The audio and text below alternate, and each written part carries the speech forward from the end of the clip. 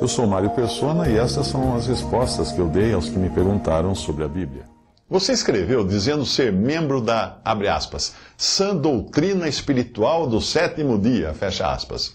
E que as mensagens que eu tenho publicado causaram um profundo impacto em você, ao ponto de abalar toda a estrutura religiosa que você recebeu desde a infância nessa denominação. Então você perguntou se, à luz das, das Sagradas Escrituras, poderia ser salvo se continuasse nessa denominação. Bem, denominação nenhuma tem poder de salvar ou de impedir que uma pessoa seja salva, porque a salvação é somente pela fé em Cristo. Então, não importa onde a pessoa esteja no momento da sua conversão, se ela reconhecer-se pecadora e pedir perdão a Deus, colocando sua fé no Senhor Jesus e na obra que foi consumada no Calvário para salvar pecadores, essa pessoa será salva. A salvação é puramente por graça e não por alguma obra que nós façamos ou pela adoção de alguma religião ou denominação. Existem pessoas salvas em todo lugar, em todas as denominações religiosas e fora delas, eh, muito embora não necessitassem permanecer nelas para serem salvas.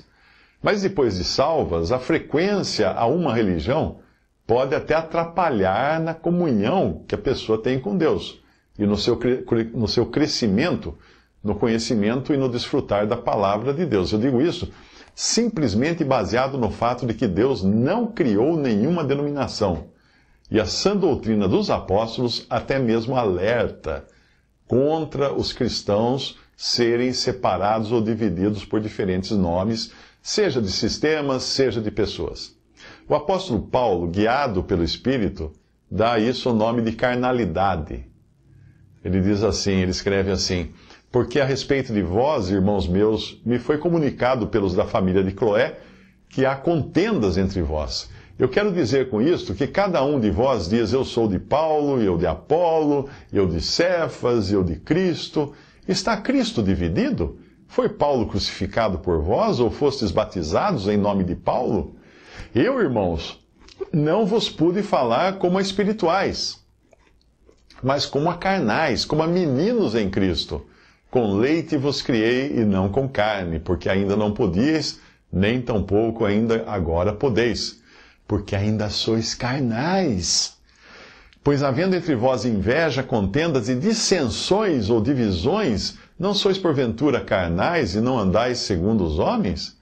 Porque dizendo um eu sou de Paulo e outro eu de Apolo, porventura não sois carnais? Isso está em 1 Coríntios 1, de 11 a 13 e capítulo 3, de 1 a 4.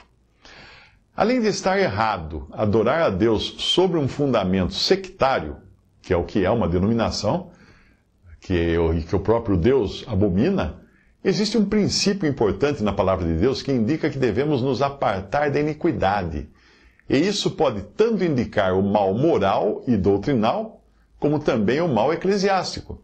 Estar associado a algo que contém a má doutrina faz de você cúmplice do mal que é ensinado e praticado ali. Veja a passagem. Todavia, o fundamento de Deus fica firme, tendo este selo: O Senhor conhece os que são seus, e qualquer que profere o nome de Cristo, aparte-se da iniquidade. Ora, numa grande casa, não somente há vasos de ouro e de prata, mas também de pau e de barro, uns para a honra, outros, porém, para a desonra. De sorte que, se alguém se purificar destas coisas, será vaso para a honra, santificado e idôneo para uso do Senhor e preparado para toda boa obra. Foge também das paixões da mocidade e segue a justiça e a fé, o amor e a paz com os que, com um coração puro, invocam o Senhor 2 Timóteo 2, de 19 a 22. Em Apocalipse, nós encontramos a cristandade no seu estado final e posterior ao arrebatamento da igreja. Os verdadeiros salvos do planeta Terra aparecem ali. Aqui, então, o arrebatamento leva embora os verdadeiros salvos, e aqui no mundo ficam, então, as denominações esvaziadas dos que, no seu meio, eram genuínos salvos. O trigo permanecendo na terra o, o trigo é levado embora, permanecendo na terra apenas o joio. Nesse tempo, ainda existirão pessoas que não tiveram oportunidade ou capacidade de crer em Cristo no período em que a igreja estava aqui. E essas pessoas terão oportunidade depois, quando escutarem o evangelho do reino. Porém, nenhum dos que tiveram essa oportunidade antes e a rejeitaram poderão assistir a uma reprise da oportunidade de serem salvos, porque é o próprio Deus quem fará com que creiam na mentira por terem rejeitado a verdade. Esses crerão no anticristo, esse cuja vinda é segundo a eficácia de Satanás, com todo o poder e sinais e prodígios de mentira, e com todo o engano da injustiça para os que, pere... para os que perecem, porque não receberam o amor da verdade para se salvarem. Por isso, Deus lhes enviará a operação do erro, para que creiam a mentira, para que sejam julgados todos os que não creram a verdade, antes tiveram prazer na iniquidade. 2 Tessalonicenses 2, de 9 a 12. Mas, como eu disse, mesmo entre os que se converterão depois da partida da igreja da terra, haverá um povo ao qual o Senhor chamará de povo meu, mesmo estando associado à corrompida Babilônia, que é a designação que Deus dará à falsa noiva de Cristo, chamando-a inclusive de grande meretriz.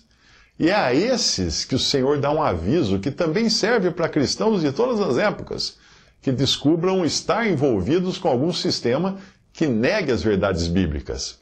O Senhor diz assim, uh, o Apocalipse, o livro do Apocalipse diz assim: E ouvi outra voz do céu que dizia: Saí dela, povo meu, para que não sejais participantes dos seus pecados e para que não incorrais nas suas pragas, porque já os seus pecados se acumulam até o céu e Deus se lembrou das iniquidades dela. Apocalipse 18, de 4 a 5. Até hoje, apenas uma pessoa havia mencionado a denominação da qual você diz fazer parte desde a infância. Por isso, eu não dei muita atenção em tentar descobrir o que professava essa denominação. Mas algumas coisas chamaram a minha atenção no seu e-mail. Eu confesso que eu não li todo o material que você me enviou, porque você se alongou bastante ali em descrever a liturgia dos cultos dessa, dessa religião da qual você é membro. Primeiro, me chamou a atenção o nome da religião: Sã Doutrina Espiritual do Sétimo Dia. Ora, se é sã doutrina, não pode ter nada a ver com o sétimo dia, que é o sabá, o shabat, o sábado, judeu. E se é do sétimo dia, como o adventismo e outras religiões sabatistas, então não pode ser essa doutrina. Mas uma doutrina torta que não conhece a graça e tenta encontrar salvação por meio da obediência da lei e dos preceitos do Antigo Testamento. Outra coisa que fez tocar o alarme foi você dizer que essa religião foi criada a partir de uma revelação recebida por uma menina de 12 anos em transe mediúnico. Hum, eu tenho certeza de que já ouvi essa história outras vezes de outras religiões fundamentadas em esoterismo e espiritualismo. A única revelação de que nós precisamos é a Bíblia. E esta veio diretamente do Espírito Santo de Deus, não de um anjo, espírito ou demônio que baixou numa adolescente, como é o caso dessa religião. Como é que eu posso afirmar que não seja o caso aí, né? A doutrina que resultou dessa possessão da menina é a mesma que os judaizantes tentavam plantar no meio dos cristãos da Galácia. E Paulo chamou de evangelho maldito ou amaldiçoado. Então, saiba você que não veio de Deus isso. A sua dúvida se, abre aspas, à luz das, das Sagradas Escrituras, se eu continuar em minha denominação, uh, serei salvo, fecha aspas. Essa dúvida já demonstra que o evangelho que você recebeu nesse sistema religioso não é a verdade, porque se fosse, você teria certeza da sua salvação eterna. Se essa denominação até hoje não lhe deu qualquer certeza de salvação, ela só pode ser aquele evangelho anátema ou maldito do qual Paulo fala na sua carta aos Gálatas, que ao invés de ter sido revelado por algum anjo caído, como ali na, na carta aos Gálatas eh, Paulo fala, né? Ele foi revelado por uma menina possessa, de um espírito imundo. Em Gálatas, alguns judeus estavam insistindo com os irmãos que se eles não guardassem a lei, não seriam salvos. Será que você vê alguma semelhança aí? É?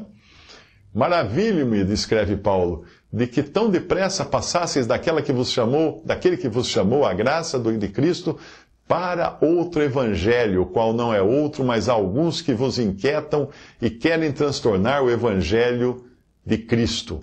Mas ainda que nós ou mesmo nós mesmos ou um anjo do céu vos anuncie outro evangelho, além do que já vos tenho anunciado, seja anátema, o maldito.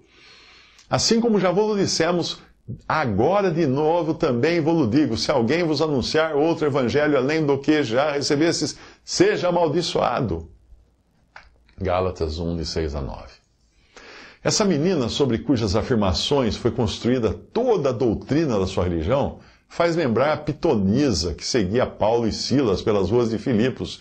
Se Paulo estivesse no quarto daquela menina, que a história da sua denominação menciona, quando ela começou a dizer coisas em transe mediúnico, essa religião nunca teria sido fundada, porque Paulo teria expulsado o demônio que estava nela.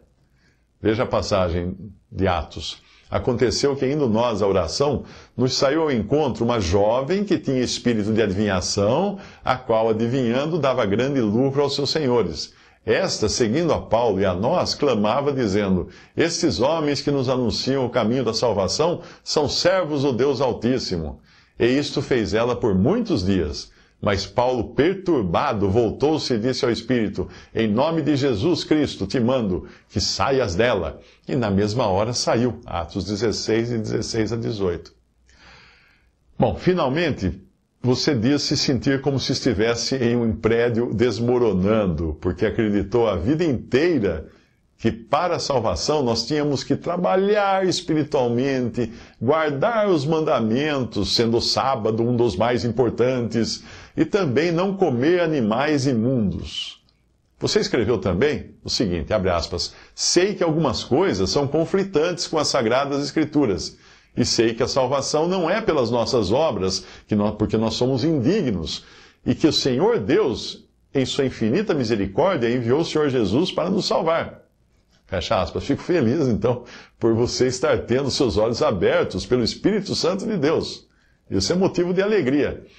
Mas quando eu estava até vendo uma luz no fim do túnel, você mandou um trem me atropelar quando você escreveu o seguinte: abre aspas, apesar dos conflitos doutrinários, tem muita coisa boa na nossa pequena comunidade. A família é muito valorizada, o casamento, os casamentos são duradouros, a, castidade, a castidade antes do casamento é amplamente pregada, ajudamos uns aos outros, não gostaria de sair da doutrina, afinal minha vida está nela, minha família, meus amigos, somos uma comunidade, fecha aspas.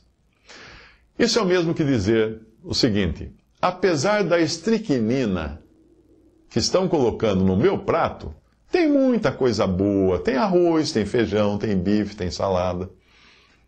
Que tal pensar no que Paulo disse a respeito do judaísmo que, que ele seguia, ele próprio seguia, antes de se converter a Cristo?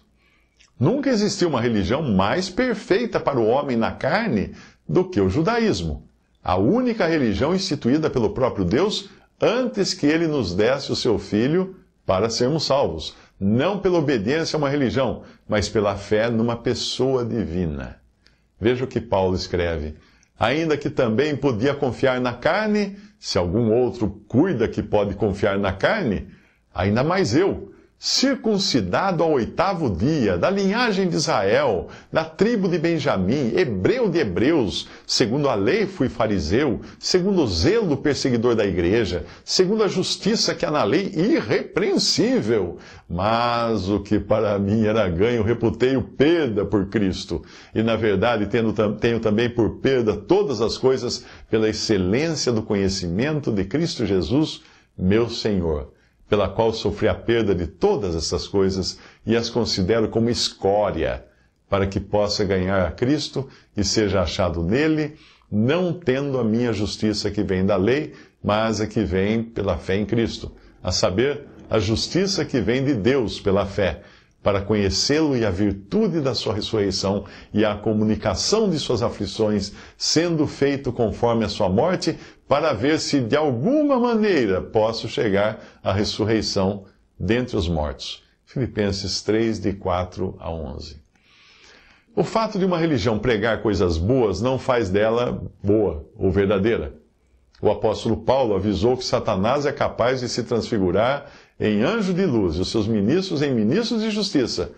Porque se, eles se, se, se esses ministros se transfigurassem em ministros de injustiça, hum, daria muito na vista, não é mesmo? Seria como Cuba enviar um agente secreto para espionar os norte-americanos e o cara chegar lá de farda verde, boina com uma estrelinha vermelha na boina, fumando charuto cubano e falando castelhano. Se ele fizesse isso, ele talvez até que eliminasse de uma vez só toda a CIA e o FBI, porque os seus agentes iriam morrer de rir. Não se iluda com as coisas boas que muitas religiões ensinam, porque essa é a estratégia diversionista do diabo para desviar sua atenção dos pontos cardeais sã doutrina que nós recebemos do Senhor por meio dos seus apóstolos.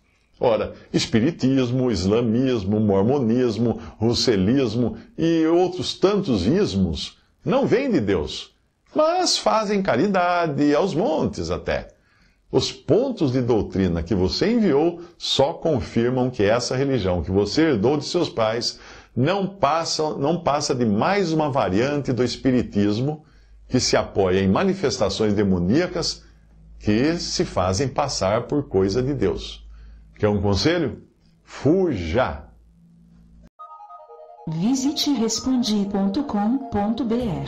Adquira os livros ou baixe e-books. Visite 3minutos.net. Baixe o aplicativo